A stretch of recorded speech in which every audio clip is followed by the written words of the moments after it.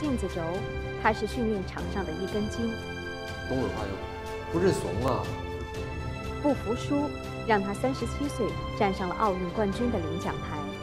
好让讲，你想想你的对手是什么样的，他会会给你留余地吗？做教练，他坦言并不比当运动员更轻松。第一年，就是一下就上火了。中国杯花样滑冰大奖赛走进重庆，我们和奥运冠军、国家花样滑冰队总教练赵宏博摆摆龙门阵。也许有一天，世界冠军，花样滑冰世界冠军在重庆产生了。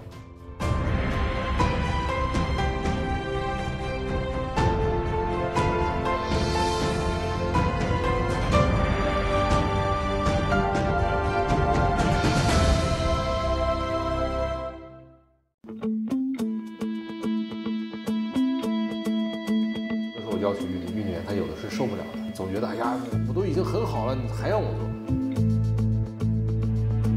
你想想你的对手是什么样的，他会会给你留余地吗？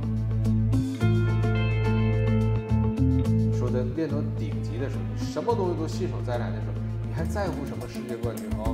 到那就水到渠成就奥运会。这次我们的专访比以往任何一次都要特殊。整个拍摄团队在正式采访前一天全部做核酸检测并实施隔离，待检测结果确认没有任何问题后，我们才被允许接近这群国宝。哇！正在训练我们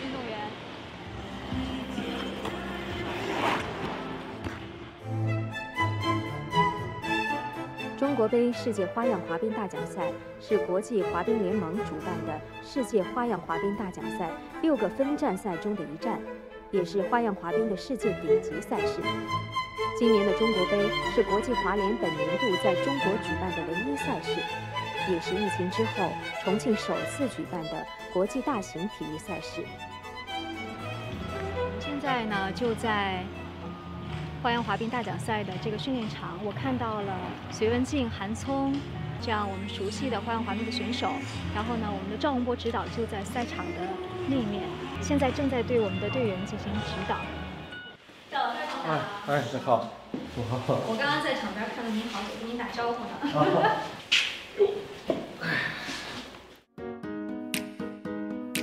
曾经，赵宏博这个名字频繁地出现在各种体育报道中。它是中国花滑运动的里程碑和一个职业运动员的顶峰。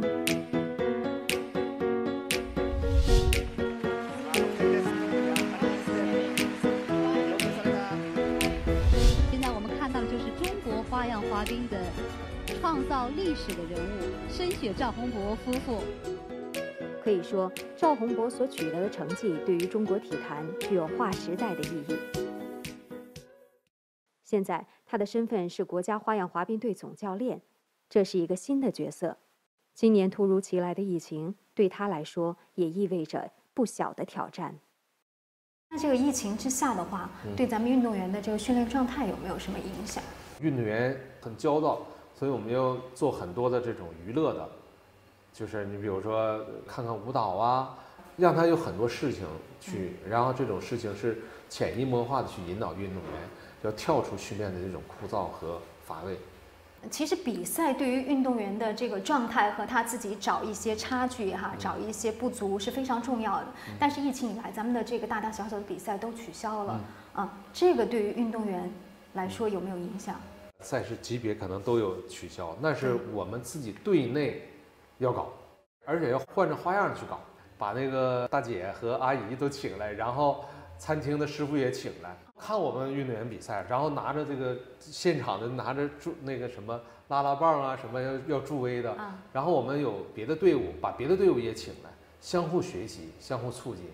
今天我们演博士有幸的请到了刚刚为中国体育代表团获得本届冬奥会首枚金牌的花样滑冰的冰上伉俪申雪和赵宏博。当开玩笑的，我俩也说过，说以后要是。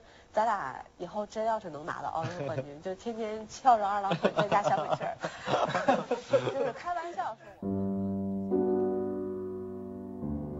二零一零年，在拿到奥运冠军选择退役之后，赵宏博并没有如他们之前想象的那样彻底轻松。二零一三年，他出任国家队双人滑教练。二零一七年，赵宏博又从自己曾经的教练姚斌身上接过重任，成为花滑国家队总教头。而这个角色的转变，被媒体评价为是一场临危受命。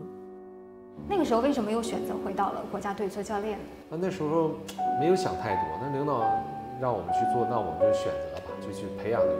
但是做第一年，就是一下就上火了，知道当教练员不是很轻松的事情。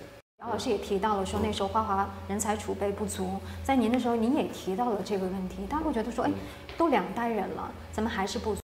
俄罗斯呢，它它在传统上它非常强，嗯，呃，四个项目都有世界冠军和奥运会，尤其在双人滑当中，它统治了四十六年的奥运会冠军，嗯，这都是前苏联和俄罗斯。然后中国呢，中国人是抽冷子拿了一个，他们起步太早了，咱们起步的对太晚了。对，他有自己的花样滑冰双人滑学校。我现在这个体系现在还完全做不到这一点，这还是需要一个过程。我听说这个优秀的运动员退役下来做教练都都会有一个习惯，就是看到那个队员在场上做的不好的时候，都会恨不得自己上。上我也经常上啊。嗯，你有这样的时候吗？对呀、运动员总说，他说男伴儿，我我这个说一大堆，我说那行，我上去做去，我做就做出来了。我说你就为什么做不出来呢？就很着急。那你就所以就练得少嘛。我今天在场边观察您哈，我发现就是您在场边基本没笑。您是那种就比较严厉型的，还是温和型的？还可以吧，就是有的时候呃会会更严厉一些，嗯，对，严厉会骂吗？很少骂。有的时候这个威是在训练的场上竖起来的，不是做出来的。姚老师他相当于是把咱们中国花样滑冰从一个零起点吧推到了你们，推到了最高点，肯定会有人拿你们两代教练来做比较。嗯，您愿意别人拿这样来比吗？可以比，姚老师他有姚老师的时代，就是为了中国的这个零起步。那么我让让我来接这个队伍的时候，我也是一定要把我的学生培养出世界冠军和奥运冠军，这是教练员的职责。我们两个人，呃，这个时代不同，但是责任是相同的。你当教练就是要培养出世界冠军和奥运会冠军，这是才算你是一个优秀的教练员。我说教练，我是不是优秀教练？这这你还算合格。这是姚老师给您的评价。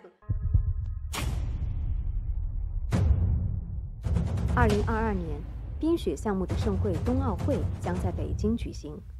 乘着二零一五年申奥成功的东风，中国北冰南展西扩东进的冰雪运动发展战略再次升温。二零一九、二零二零年，连续两届中国杯世界花样滑冰大奖赛走进重庆，奏响了一曲《冰与火之歌》。去年咱们的这个中国杯是放在重庆的嗯，今年又是放在重庆嗯。呃，为什么连续两年会选择放在重庆呢？北冰南展，东进西扩。呃，这个南展呢，我们在重庆，从去年来的时候，我们哎呀就感觉到这个这边的热情，包括饮食，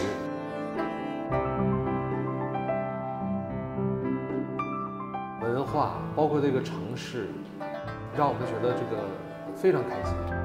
包括这个后期的赛后之后，冰迷的反馈，感觉到非常成功的举办了这么一次这个中国杯，积攒很多的这个关注点和粉丝。那你今年搞了，明年走了，再过两年再搞，可能大家这个热度就没有了，把这个赛事现在慢慢过渡到这个常态化，哎，就是过渡到老百姓的生活，看到体育赛事啊，看到娱乐节目。所以呢，搞一个一年我觉得太短，两年我明年再搞也也很好。您希望这样的项目落地在重庆哈，嗯能达到一个什么样的效果或者影响？这个二零二二年呢，它不是说东北的项目，而且是全国的全国人的这个奥运会。我知道重庆体育局现在也在有有冬季项目了，而且有队伍。任何的项目到一个地方做了展示之后和赛事，那我希望呢，因为我教练员，我希望他落落地，能在当地挖掘出很多这个孩子，他可以感受音乐，感受舞蹈。